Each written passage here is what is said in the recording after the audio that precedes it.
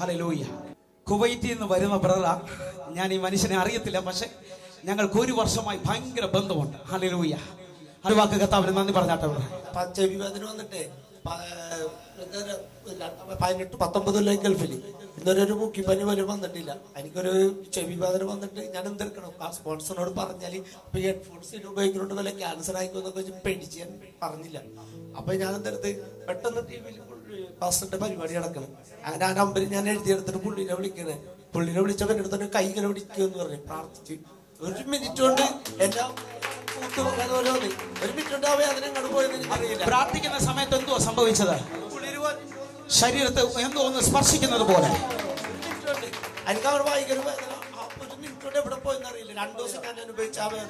ഇപ്പൊ ആ വേദന പിന്നെ വന്നിട്ടില്ല.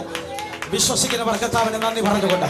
രാജ്യങ്ങളിൽ നിന്ന് കടന്നു വന്ന കർത്താവിനെ നന്ദി പറയുവാനായിട്ട്. ഹാലലൂയി രണ്ടാമത്തത് എന്റെ മകനെ വിസ വേണ്ടി കൊടുത്തിട്ട് ഇങ്ങനെ നിൽക്കണായിരുന്നു പാസ്റ്ററിനോട് ഞാൻ പറഞ്ഞു പാസ്റ്റർ എനിക്ക് ഒരു വിഷയം കൂടിയുണ്ട് ഒരാഴ്ച കഴിഞ്ഞപ്പോൾ ഞാൻ വിളിച്ച് എന്റെ മാനു വേണ്ടി പ്രാർത്ഥിക്കണമെന്ന് പറഞ്ഞു. പാസ്റ്റർ പറഞ്ഞു ഈ മാസം തന്നെ എല്ലാം നടക്കുമെന്ന് പറഞ്ഞു.